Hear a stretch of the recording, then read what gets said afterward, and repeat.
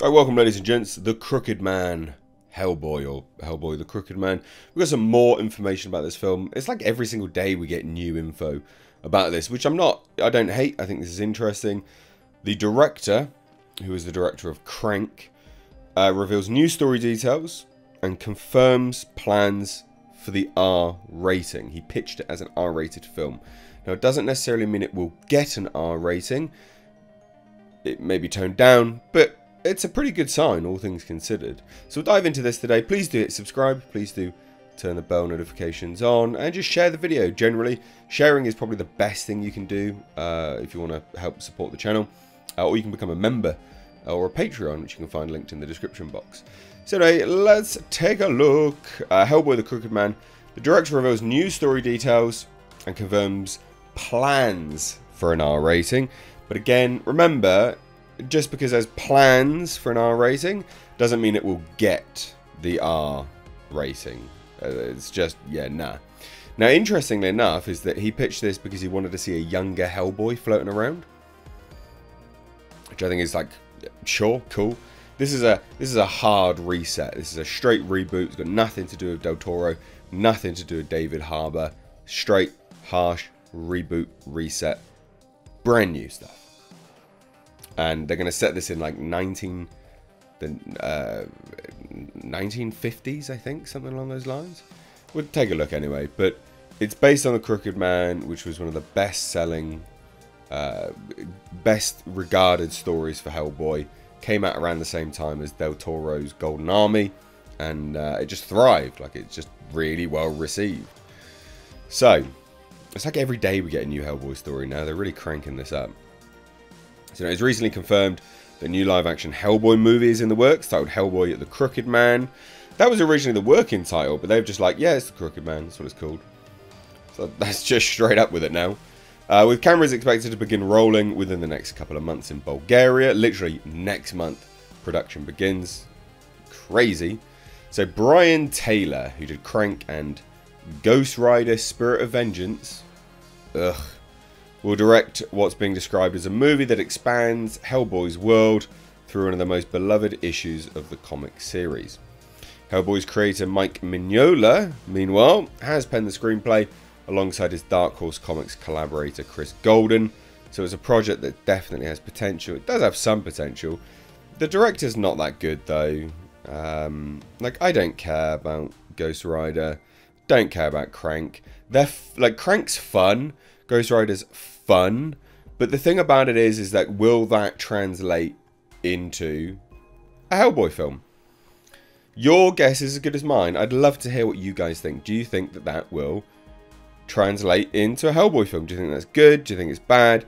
Do you think a Hellboy film will, you know, be better received with that fun element? I don't know. I think I think there's a fine line between it being fun and it being corny. And that's the problem I have with this. There's a fine line between it being fun and it being corny. And Mike Mignola, sure, cool. The creator's coming back. I'm happy to see him do the screenplay. I think this is the first time in all of the franchise he will be working on the screenplay. So, yeah. I don't hate the idea. It's just like a wait and see moment about all of this. To me, anyway. So recently, Collider spoke with Brian Taylor about his plans for the franchise and why he wanted to adapt The Crooked Man. So after praising Del Toro's vision, he added that the Mignola comics he's a fan of are from the era The Crooked Man was released. And this movie, and this is what he says, and I quote, will go back to that and do a real reset and really give us that version of a younger Hellboy wandering the dark corners of the world paranormal investigator, Night Stalker, which I just don't think we've seen yet. Yeah, he's not wrong. We haven't seen it yet. Do we need to see it though? So what you guys can tell me is this something that you're keen on. Uh, again, I'm I'm fairly interested in this. I don't hate the idea. Uh, a young Hellboy wandering the, the globe. Yeah, okay, cool. Like, there's a lot you can do with that. There honestly is so much you can do with that. Uh, often these studios, they do tend to squander those opportunities and chances, so I guess we'll have to see. Now, Taylor's also worked on the script, and while it won't be a direct translation of the comics, the goal is to honour them and bring what we've seen on the page to life, and that required an R rating. It doesn't have an R rating yet, everyone. It's really important to note, just because they're aiming for an R rating doesn't mean they'll get it either. So, that's nonsense. I hate it when articles do this. I pitched uh, an R-rated folk horror movie, and the team here at Millennium have been nothing but supportive.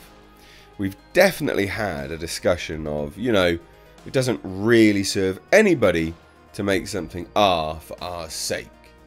To say it has to be R, so we have to add A, B, and C. But this material, this original material, is dark and scary and violent and adult. There's some very interesting sort of reasons why you get an R rating. Uh, some of it's just to do with quantities of blood. Some of it's to do with intercourse. You know, there has to be uh, sexual intercourse in in there. Some of it has to do with the amount of curse words which are given as well. So, yeah, to sit there and be like, well, look, you know, I pitched an R-rated film. Sure, you might have pitched it. We don't know if it's got that yet. Uh, we'll have to wait and see. But at least they're not shying away from it. That's the issue that I think a lot of people have with uh, a lot of modern day adaptations is that the studio very clearly is shying away from an R rating. And that's when it's bad. At least these people aren't doing that. So anyway, declining to give too many details away, uh, Brian Taylor did confirm that his Hellboy reboot will have three leads, noting that those will be the big man himself, alongside Tom Ferrell, and a new character created by Mignola who replaces Goram. Uh, as for casting, uh, that's underway. I'm as excited to learn that news as, as anybody else is. But we've got some amazing actors who are in the mix, and the goal is to break out a younger version of Hellboy.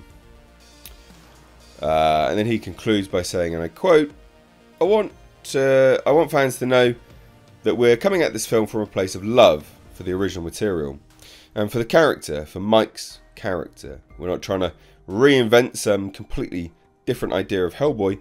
We're trying to get back to the feeling of these particular books from the mid aughts. Look, cool. I'm happy about this. I think this sounds fine.